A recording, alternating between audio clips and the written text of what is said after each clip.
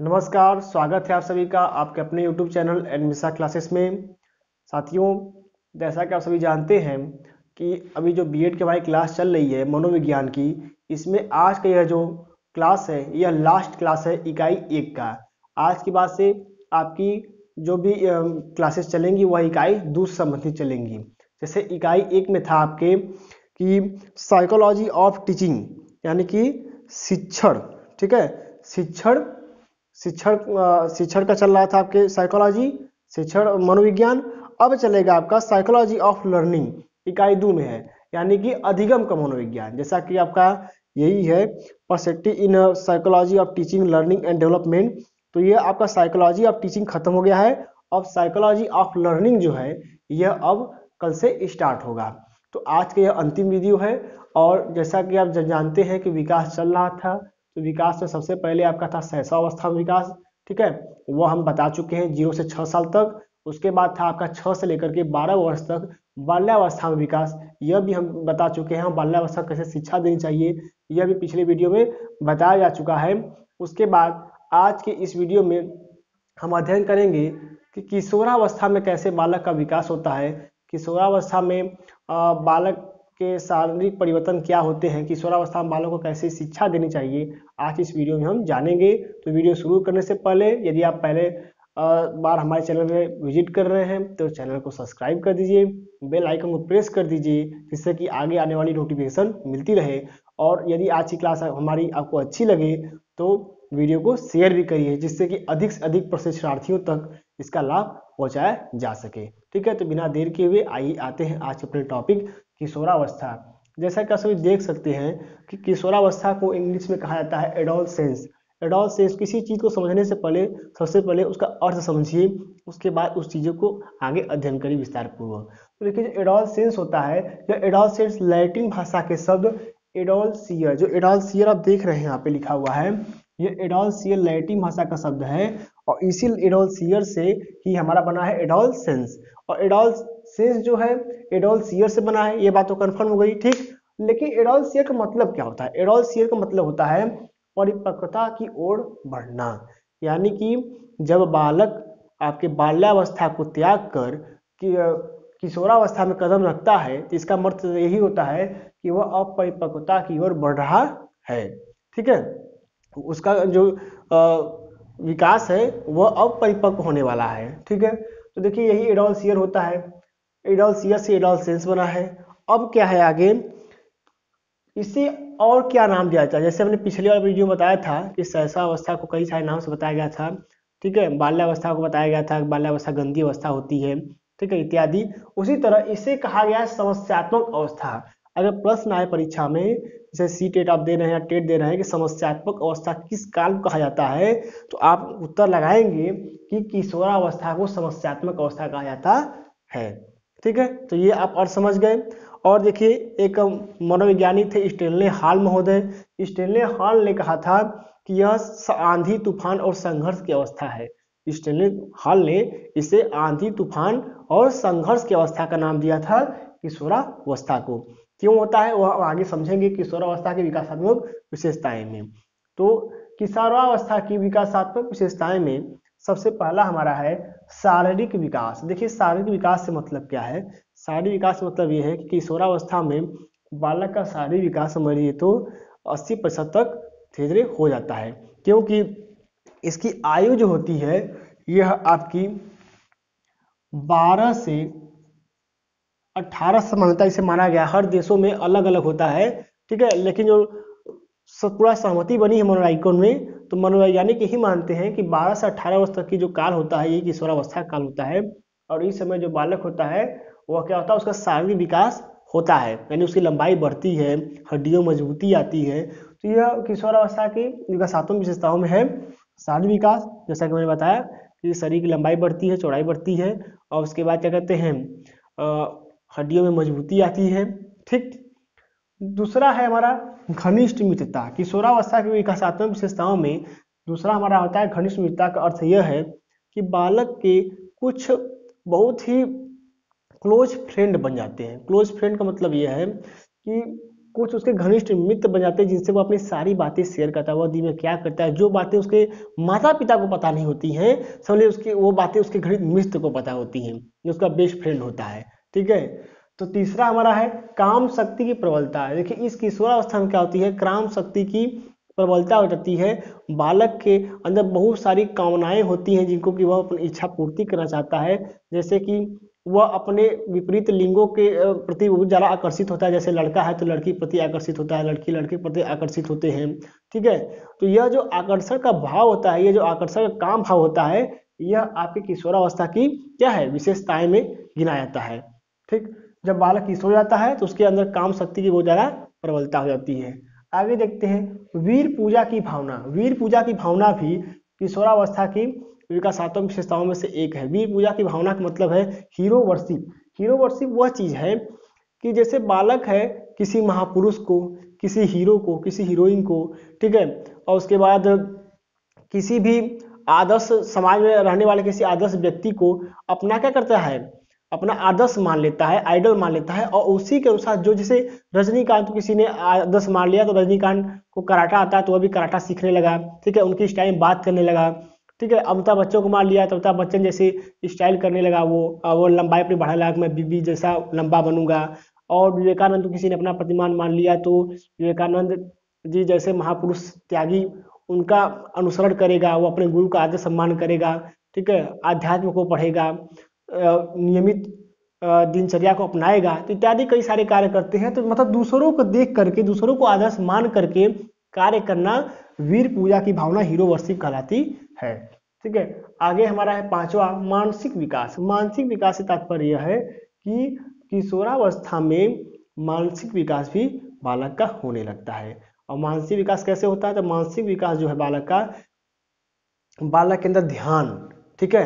प्रत्याय स्मरण प्रत्यक्षीकरण इत्यादि की भावनाएँ बालक के अंदर आती हैं। ठीक है? ये सभी बालक का मानसिक विकास करती हैं। जैसे कोई बालक है, अगर कोई चीज़ देख के आया है, उसे पूछेंगे कि, बताओ, चाकू कहाँ रखा हुआ था घर में? तो वह बताएगा कि हाँ चाकू हमने यहाँ पर देखा था। चाकू यहाँ पर रखा हुआ था। तो यह क्या है? बालक का मानसिक विकास है कि उसने चीज़ों को याद करके, प्रत्यास्मरण करके तुरंत बता दिया।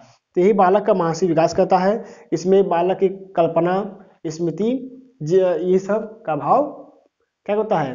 परिपक्व हो जाता है। बालक इन सभी चीज़ों के बारे में ज़्यादा ध्यान गंभीरता से देता है। आगे है छठवां हमारा ये सभी जो आप देख रहे हैं, ये सभी हेडिंग है। ये सभी हेडिंग आपको परीक्षा में लिखनी है बना बना करके। ठीक है, जो मैं आपको समझा रहा हूँ। और छठवां हमारा है, समूह को महत्व। बालक अपने समूह को महत्व देता है। जैसे कि जब बालक की स्वरावस्था में आता है उसके समान व्यवहार के कुछ मित्र बन जाते हैं। मित्र मंडली उसकी बन जाती है, जिसको कि ग्रुप कहते हैं। तो अपने ग्रुप को हमेशा महत्व देता है। जैसे उसके पिता कहते हैं कि नहीं, आज शाम को तुम्हें यहाँ नहीं जाना है। तो वह कहेगा कि नहीं, हमारे सारे दोस्त जाने, हम भी जाएँगे, सब हमें बुलाए हैं, आज पार्टी है, हमें यहाँ जाना है। तो वह क्या होता है, अपने ग्रुप को ज़्यादा महत्व देता है, अपने घर की अपेक्षा। किशोरावस्था की विकासात्मक विशेषताओं में है कि किशोरावस्था में जब बालक प्रवेश करता है तो वह अपने समूह को, ग्रुप को महत्व देता है। समूह बनाकर कोई कार्य करता है, ठीक है? और सातवां है विद्रोह की भावना। सातवां ये जो बहुत महत्वपूर्ण है, जैसा कि स्टेले हाल महोदय ने कहा था कि यह आंधी, तूफ़ान और संघर्ष की अवस्था है तो इसीलिए कहा था क्योंकि बालक के इस समय इस विद्रोह की भावना होती है। अगर कोई भी काम बालक के मन के अनुसार नहीं हुआ तो वह क्या होगा? घर में विद्रोह कर देगा। दो दिन खाना ही नहीं खाएगा, घर से भाग जाएगा। ठीक है, अंड बंड बोलने लगेगा। तो वह विद्रोह की भावना उसके अंदर रहती है वो चीज़ों को सामंजस्य नहीं स्थापित कर पाता है, वह विद्रोही व्यवहार करने लगता है, ठीक है? आगे हमारा है व्यवसाय की चिंता। व्यवसाय की चिंता का मतलब यह है कि बालक जब किशोरावस्था में प्रवेश करता है तो वो सोचता है कि बार बार घर वालों से पैसा मांगना पड़ता है, मैं कुछ ऐसा करूँ कि खुद मेरे पास पैसे आए।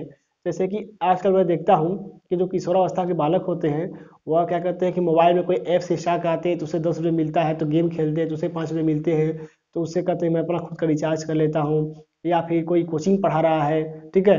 तो ऐसे करके वह व्यवसाय की चिंता लगे तो कि उन्हें कुछ आगे करना है, कुछ आगे बढ़ना है, कुछ आगे बनना है। तो वह क्या है? जैसे अगर उन्हें मान लीजिए कि प्रशासनिक सेवा में ही जाना है या फिर रेलवे की तैयारी कर रहे हैं तो उन्हें क्या वो व्यवसाय की चिंता है कि मैं कौन सा ऐसा काम करूँ जिससे कुछ धनार्जन हो सके। ठीक? तो यह किशोरावस्था में भावनाएँ आती हैं। उसके बाद देखते हैं आगे हम। स्थिरता व समायोजन का अभाव। तो किशोरावस्था में स्थिरता व समायोजन का अभाव होता है, यानी कि स्थिरता नहीं होती है। इसीलिए इससे जो आपका है किशोरावस्था, इसीलिए किशोरावस्था को शैशवावस्था की पुनरावृत्ति नोट कर लेते हैं शैशवा अवस्था की पुनरावृत्ति पुनरावृत्ति।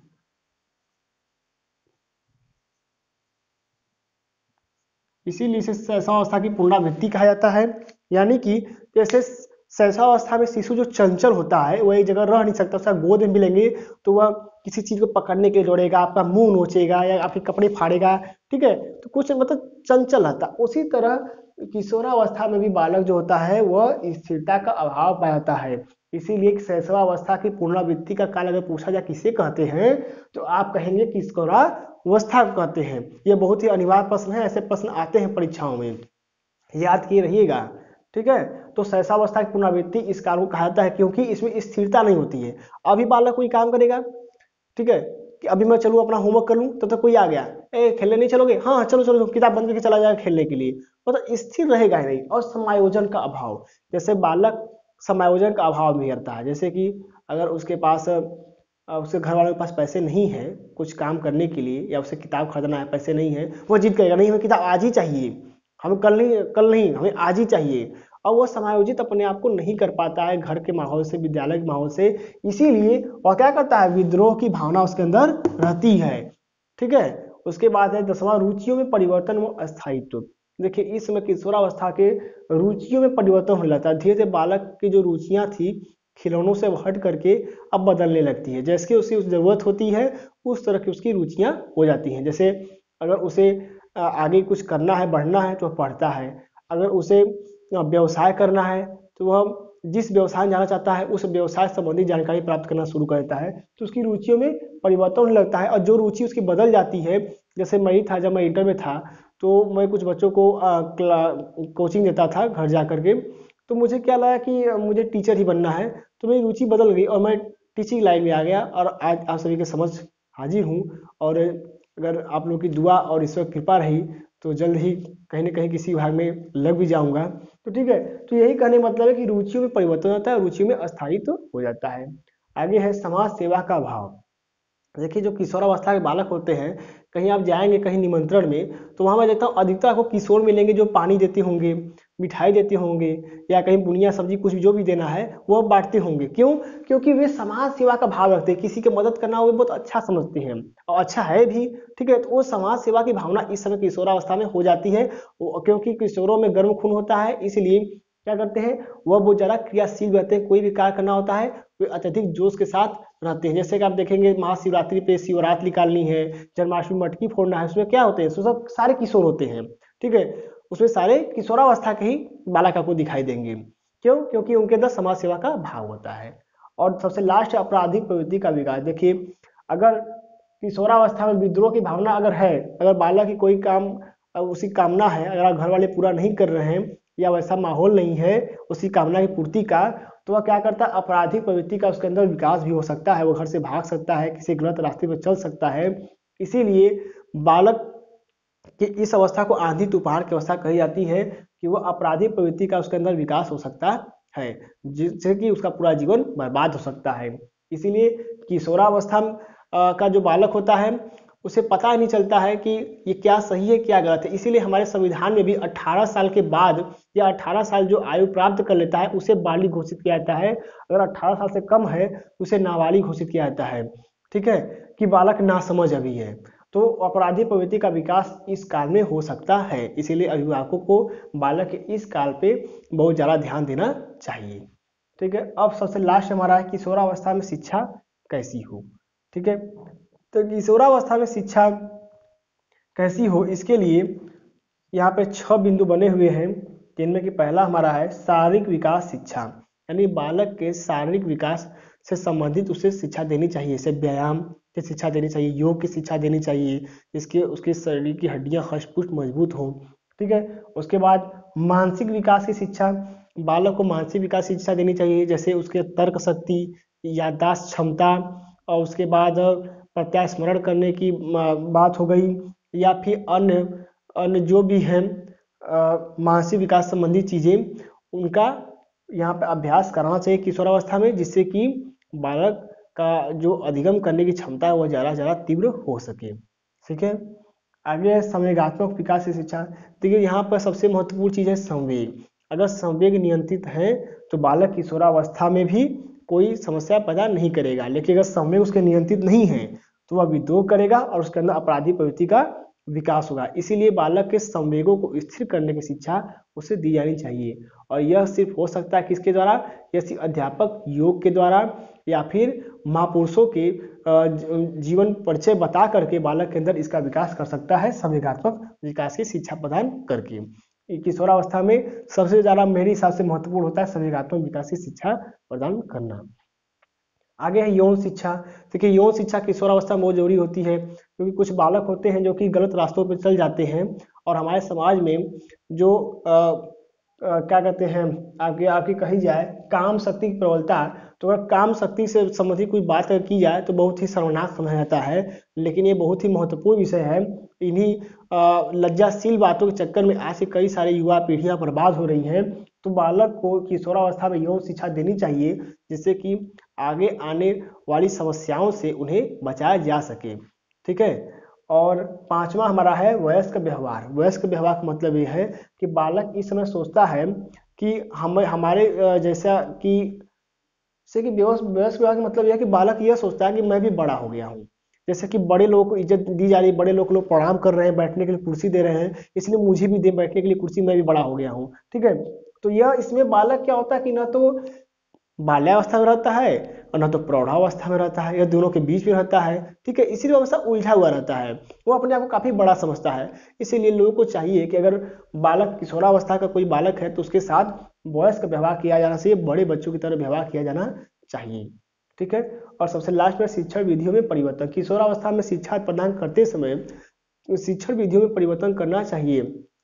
परिवर्तन करने से आशा यह है कि अगर हम व्याख्या विधि का प्रयोग कर रहे हैं, बालक को वो चीज़ नहीं समझ आ रही है तो हम क्या करेंगे? अपने विधियों में परिवर्तन करेंगे, प्रयोगात्मक विधि का प्रयोग करेंगे।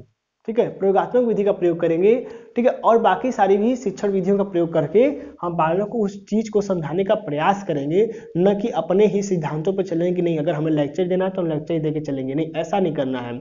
हमें चीज़ों को बदल करके बालक को पूरी तरह से ये समझानी है। तो इस तरह आपका किशोरावस्था का भी यह क्लास आज की खत्म होती है।